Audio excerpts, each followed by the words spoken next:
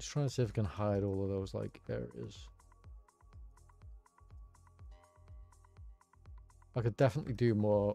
I could definitely do more work with the um, material underneath it as well. SideFX programmers did a good job. They are very good. Um, yeah. And like I say, also kind of very responsive. It's not the only option. I mean, I think still by far the most popular one is going to be XGen in Maya. Um, and whatever Cinema 4D's thing is called. But I think like I think at this point anyone anyone still using Cinema 4D is doing mostly because of vendor lock-in. just my hey, it's just my opinion, you know. No, whatever.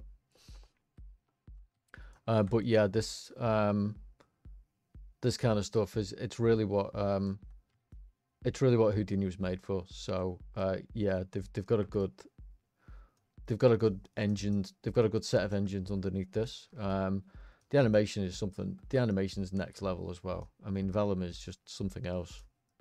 Um, yeah. Okay. What if I see what that's like as a render now? So I've thinned the hair. Oh, for fuck's sake. Does not like me today.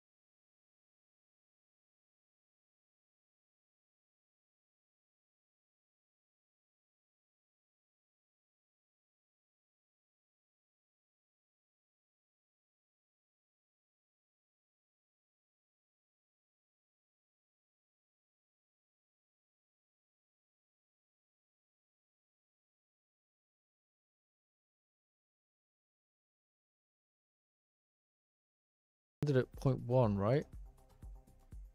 It was rendered